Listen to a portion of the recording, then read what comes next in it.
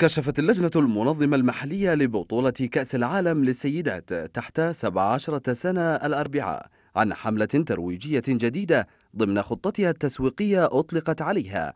أنا لاعب رقم 12 تعكس في مضمونها دور مسؤولية الجمهور الأردني في إنجاح البطولة. التي ستقام على أرض الأردن باعتباره اللاعب رقم 12 المتمم لفريق اللاعبين ال11 على أرض الملعب. المهندس صلاح صبرا أكد أن الجمهور من أهم العوامل لإنجاح استضافة البطولة كونه الركيزة الأساسية لإضفاء طابع الحماس والروح الرياضية. نحن كلجنة منظمة لكأس العالم بنفتخر بهاي الاستضافة آه، على مستوى العالم نفتخر أنه هاي الاستضافة لم تستطع دول كثيرة ودول غنية من القيام فيها. نفتخر اليوم أنه الموضوع الاستضافة أصبح مشروع وطني وكل أبناء الوطن كل مؤسسات الوطن تشاركنا آه هذا التفاعل تشاركنا العمل تشاركنا في هذا الجهد. آه ولقائنا اليوم أحد اللقاءات المتكررة السابقة واللاحقة إن شاء الله.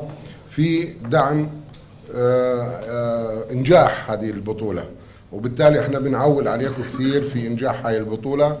إحنا متأكدين ومن البداية قلنا إنه الإعلام والإعلام الرياضي بشكل خاص هو شريك لنا في اللجنة المنظمة.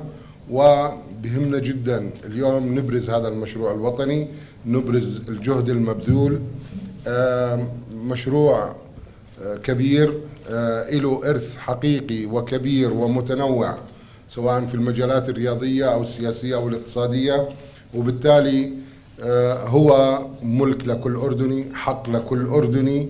وهذا الملك وهذا الحق كل واحد فينا يفتخر أنه شارك في إنجاح هذا الحفل.